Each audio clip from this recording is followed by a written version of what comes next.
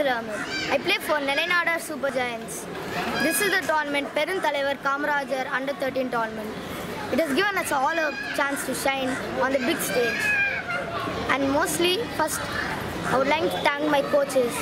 Coaches Chandru sir, Louis sir, Mani sir, and parents. I am basically our training is hard. We work hard, like five hours, six hours every day. Morning we come for coaching from six o'clock to eight o'clock.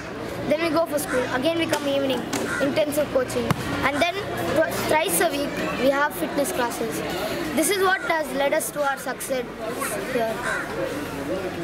I would like to thank my parents also here for coming here and supporting me. Other parents, my friends, those who helped me, encouraged me, all.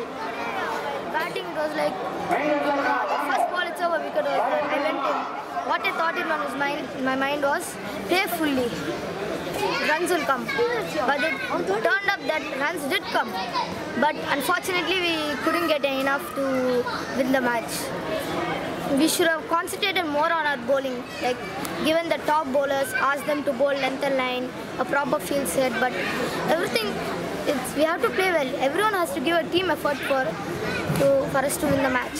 They say catches win matches. We put down a few catches, but what is more important is that we fought to the last. I would like to say thank you to Madraz Buzz for filming this match and taking this interview. Thank you.